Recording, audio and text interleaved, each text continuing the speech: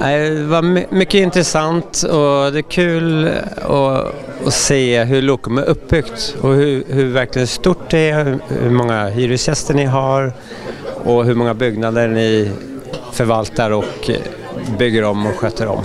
För det här var nyheter för dig.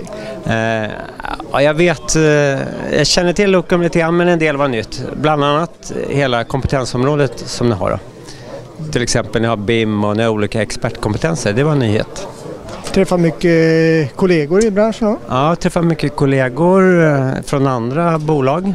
Det är roligt att träffa dem, prata lite.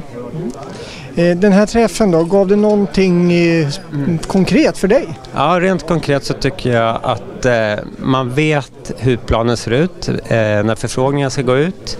Vi kan eh, titta på projekten, hur de passar oss och planera eventuellt anbudsarbete. Då. Ja, verkligen intressant. Har du haft att göra med Lokum tidigare? Ja, eh, alldeles nyligen har vi byggt eh, reservgasanläggning reservkraftsanläggning och en ny gascentral för Södertälje nya sjukhus. Eh, ett samverkansprojekt som har gått mycket bra tycker vi då. Bra samverkan med Lokum och bra projektledning från Lokums sida då. Vi har dragit projektet åt samma håll helt enkelt. Och, och där har vi upplevt det som ni har beskrivit idag. Det handlar mycket om Eh, kvarsittande hyresgäster, logistik, planering, beredning, kreativitet och kunna förhålla sig så att det fungerar för hela verksamheten, inklusive bygget.